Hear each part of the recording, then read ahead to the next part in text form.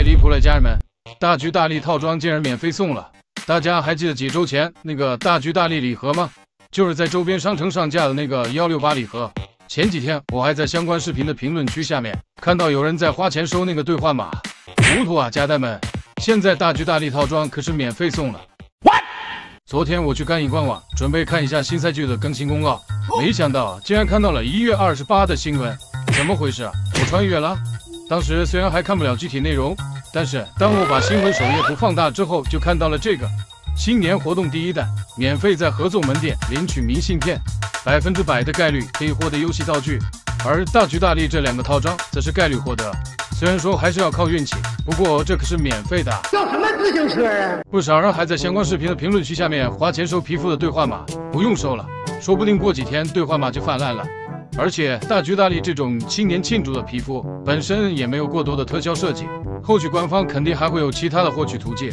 有收 GP 的战盲们，千万不要被那些兑换码贩子贩卖焦虑了。然。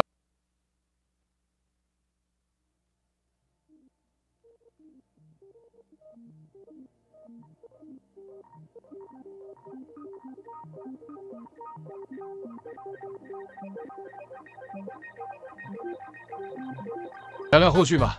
现在蛋仔爆出了新联动的地点——故宫，最新的视频已经出来了。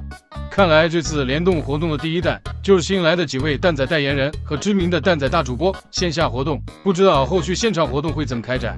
说起联动，在新年到来前的这一两周，蛋仔和隔壁都在疯狂搞联动，其中美团更是两家通吃，跑腿和圆梦联动，骑手和蛋仔联动。没想到蛋仔和圆梦的联动，居然以一种奇妙的形式达成了。除此之外，刚出道的蛋仔五小只舞团也和 A C L 音乐组合达成了合作。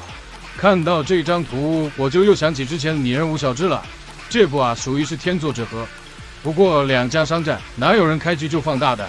所以蛋仔的大招肯定还在后面。蛋仔联动宇宙，名不虚传。